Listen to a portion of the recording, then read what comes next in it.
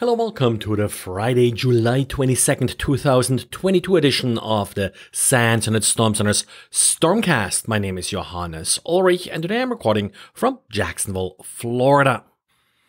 The use of non-ASCII characters in programming languages is becoming more common. For example, Apple's Swift language supports full Unicode, and some vulnerabilities around the use of Unicode in editors have already been reported in recent months. But Didier's diary from today is about a bit a different issue. Didier took a look at Visual Basic for Application VBA code using non-ASCII variables. Well, first of all, surprise for an older language like this, it actually works. And now they're still one byte characters. They're not uh, Unicode per se. Just the first bit of the byte is set, making them sort of non-standard ASCII characters. By default, uh, Didier's oledump script is creating somewhat unreadable output in these cases. And this may be one of the goals here, making reverse analysis more difficult. But of course, Didier came up with a decoder plugin and options to help. The decoder plugin will at least find statements that make it easier to find important features like URLs that are being used to download additional malware, which of course we often have in these macros. Plus with the new option added by Didier, the code will also be easier to read. And Cisco yesterday published seven new security bulletins. Uh, out of these seven, the bulletin disclosing three vulnerabilities in Cisco's Nexus dashboard was uh, the only bulletin rated uh, critical. It is a bulletin that you should pay attention to if you are running uh, this software. One of the vulnerabilities, CVE 2022-2857, does allow an unauthenticated attacker remotely to execute arbitrary commands via the data network and expose API here allows arbitrary code execution as root, and that of course would lead to a full takeover of the affected system. There are no workarounds, but there is a patch, so apply the patch. There are also uh, two other vulnerabilities in Nexus dashboard that are being addressed here.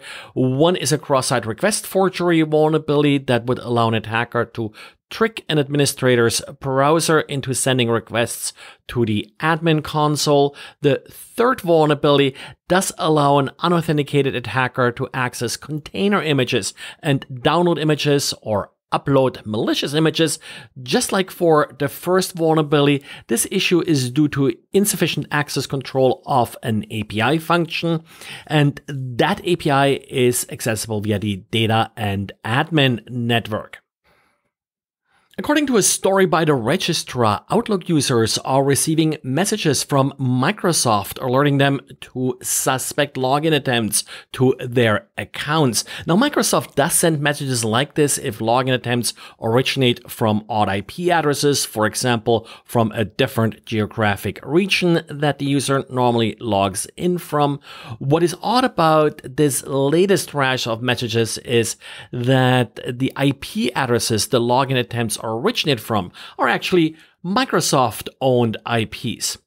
At this point, there's no official statement from Microsoft what may cause this. Very possible that it's the IP address of some proxy or something like this. Of course, Microsoft within its network also hosts well, uh, its cloud systems and such, where users may have set up uh, some virtual machines.